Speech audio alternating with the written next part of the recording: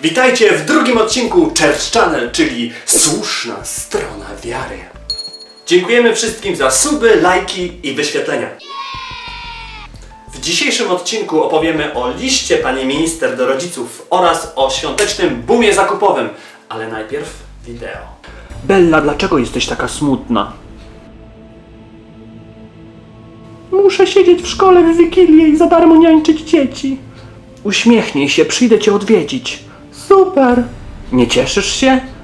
Cieszę.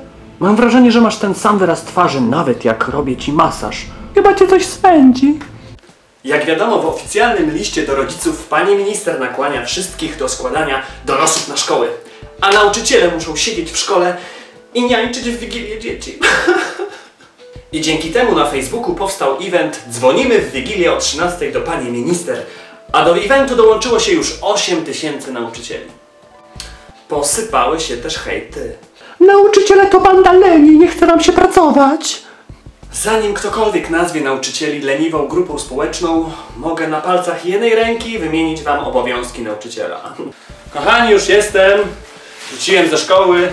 Dobrze, że jesteś. Właśnie upiekłam ciasto, może zjemy? Niestety, kochanie, nie mam czasu.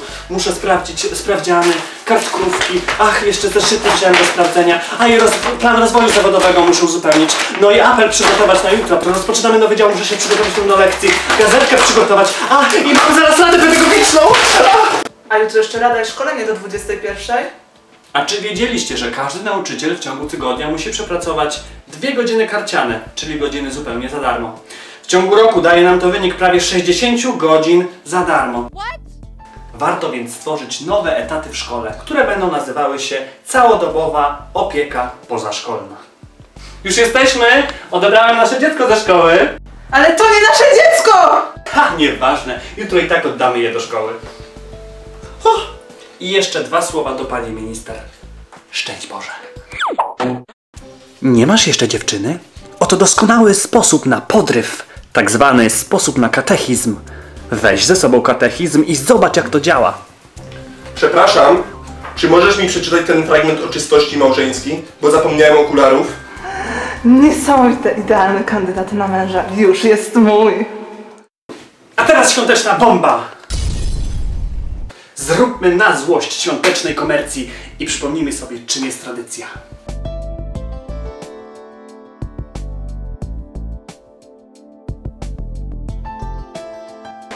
Dzień dobry.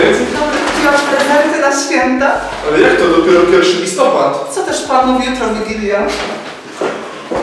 Coraz bliżej święta. Ilu z Was zna ten świąteczny special shit, a hit? Last Christmas, I gave you my heart. The very next Albo to. A czy wiedzieliście, że najstarszą kolendą polską jest Zdrów bądź królu anielski?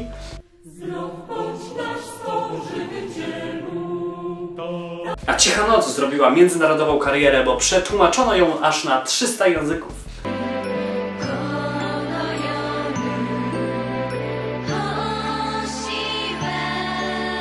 A kto z Was zna siódmą zwrotkę Pójdźmy wszyscy do stajenki? O Jezu, nasze kochanie, czemu na niebios mieszkanie przekładasz niędzie ubóstwo i w nieszczęścia Twoje ubóstwo. A oto co zaskoczy nas w te święta w telewizji. Czy nie lepiej byłoby pójść na pasterkę niż podglądać mnie samego w domu po raz setny? A teraz style kolędowania. Cztery tysiące lat wyglądany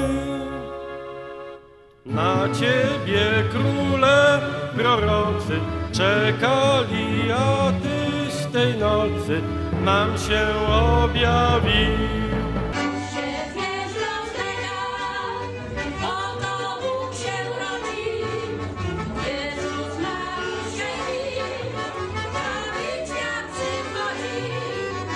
Wśród nocnej ciszy gościem rozchodzi. Stańcie, pasterze, Bóg się nam rodzi, by my... do stajenki, do Jezusa i Panienki, powitajmy maleńkiego. Nie masz jeszcze lampek na choinkę?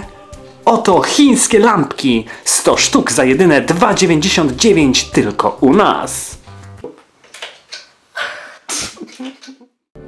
Idźmy, tudmy się jak dziadki do serca Maryji Matki.